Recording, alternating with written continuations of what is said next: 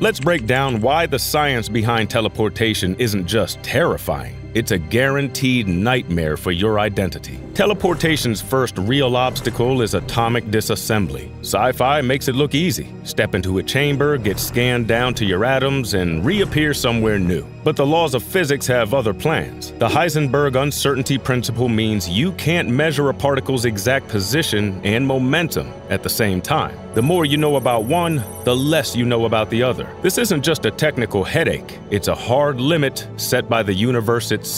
Your brain alone is a quantum labyrinth, packed with 86 billion neurons. Each synapse relies on quantum level detail. To recreate you perfectly, a teleporter would have to map every single quantum state in your brain, a task the uncertainty principle makes fundamentally impossible. Even a tiny measurement error could have massive consequences. Neuroscience research shows that when quantum coherence breaks down, neural signaling gets disrupted. So, if a teleportation scan misses just a few quantum details, your reassembled brain might lose key connections, memories, or even the ability to think clearly. Let's look at what happens in real experiments. In 1998, scientists managed to teleport the quantum state of a single photon. The result? An average fidelity of 0.80, meaning the teleported photon matched the original only 80% of the time. That's for one particle. Now scale that up to a human being, made of 10 to the power of 27 atoms. Even a 0.1% error rate becomes catastrophic. Your copy could arrive with scrambled DNA, missing neural pathways, or organs in the wrong place. And the original you, the machine has to destroy your body, atom by atom,